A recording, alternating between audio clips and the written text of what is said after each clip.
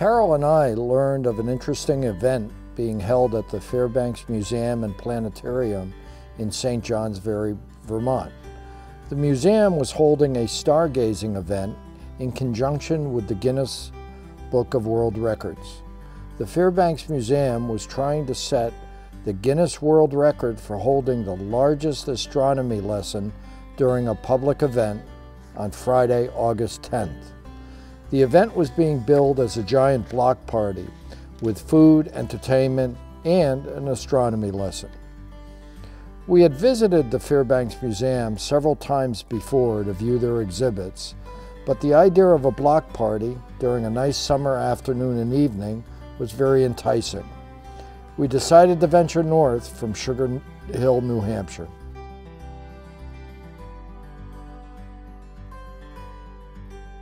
The Fairbanks Museum is located in the town of St. Johnsbury, Vermont. St. Johnsbury is the largest town by population in the Northeast Kingdom of Vermont. The 2010 census has its population at 7,603. St. Johnsbury is located approximately 10 miles northwest of the Connecticut River and 48 miles south of the Canada-U.S. border. The Fairbanks Museum is a hidden gem in the North Country. The, the original collection of specimens and objects was assembled by Franklin Fairbanks in the tradition of Kunstkammer, or Cabinet of Curiosities, which he assembled in his home in St. Johnsbury, Vermont. Franklin Fairbanks was an American businessman, political figure, and one of the founders and first trustees of Rollins College. He was a longtime member of Vermont's Republican State Committee. He was a member of the Vermont House of Representatives and served as Speaker from 1872 through 1874. In 1877, he received an honorary Master of Arts degree from Dartmouth College. The museum houses numerous collections that encompass zoology, paleontology, geology, anthropology, ethnology, and other natural sciences. It has a planetarium and a seasonally operating butterfly house.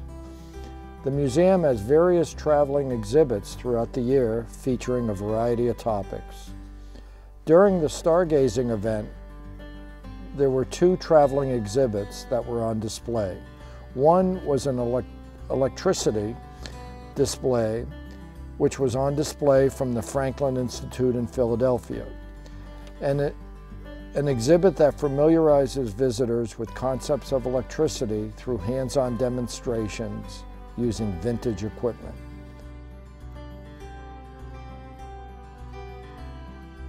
A second exhibit that was on display was titled The Last of the Hill Farms, Echoes of Vermont Past.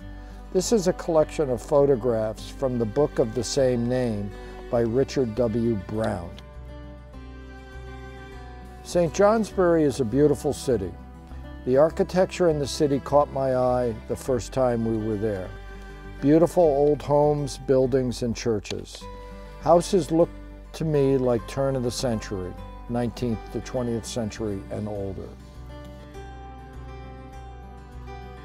One of the most unique buildings is the Fairbanks Museum itself, which is a classic Richardsonian Romanesque building, which is located on the National Register of Historic Places and is the cornerstone of St. Johnsbury's his historic Main Street district. With its fine wood interior, original display cases, and dioramas, it is one of North America's few surviving natural history museums where you are fully immersed in the wonders of the Victorian era. When Carol and I arrived at the museum, the festivities were setting up. Food vendors and souvenir vendors were setting up.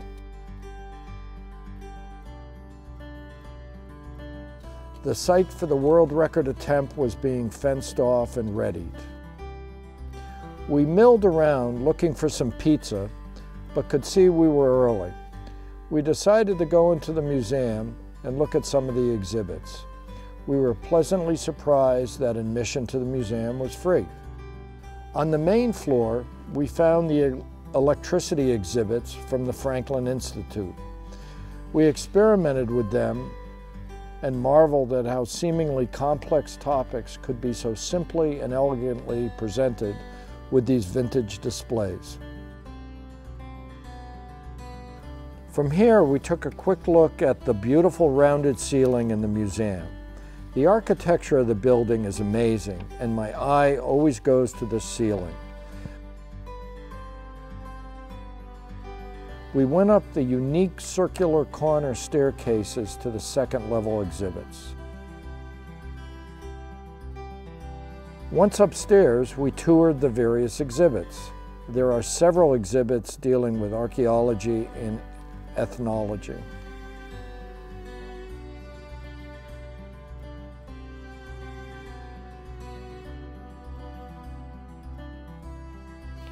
Then on to the minerals, rocks, geology of Vermont displays.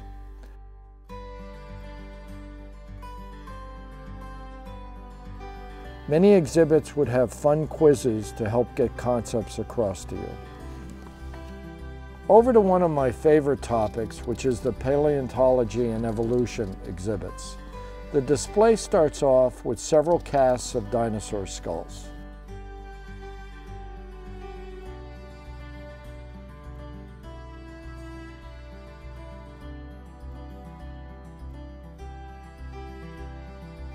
Fairbanks has a great display of fossils that is organized by geologic periods with pictures, fossils, and explanations.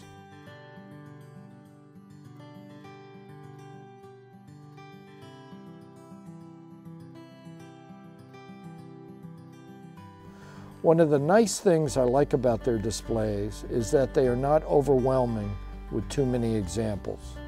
They are well organized with a well representative set of examples and clear and colorful explanations.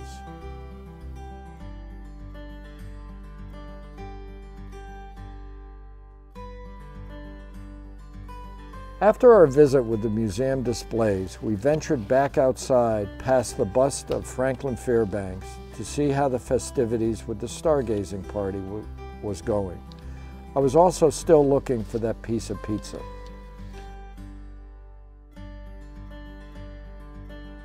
The crowds were definitely building, and there were numerous festivities occurring.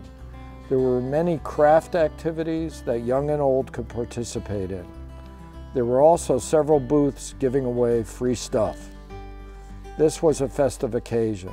Lots of people were around to talk to, plenty of displays, and a lot of great food. An interesting activity was a person that had a telescope set up viewing the sun. The scope had all the necessary filters so your eyes would not be damaged. Looking through the scope, one got some great views of the sun, including solar flares. I was fascinated looking at the sun and took a picture of what I was able to view through the telescope. As the twilight of the day approached, anticipation was growing for the world record attempt people started to line up for our controlled entry into the astronomy lesson area. The Guinness organization requires that counting is done in a particular manner. All participants are led through a turnstile that does the counting. The participants are then led into marked off areas that are managed by people that control each group. There has to be one chaperone for every 50 people that have entered. These controls are required by Guinness to ensure an accurate count. The current world record and the number we were trying to beat was 1,104. As the start of the astronomy lesson approaches, excitement is building. The stage for the professor is high above the class so he can project his voice over the crowd. Also, below him on the stage is a screen where pictures of his lecture are projected. Now the lesson starts. We learn about the differences between astrology and astronomy. We review several of the constellations and learn about early mythology to time capsules and space travel with science-educated Bobby Farley's Rubio.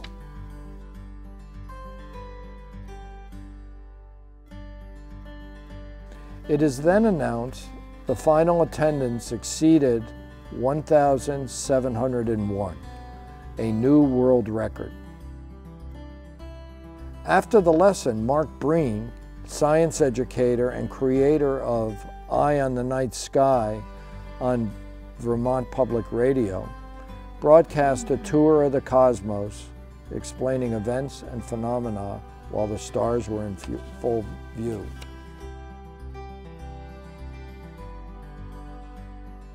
What a day, what a night, what an event.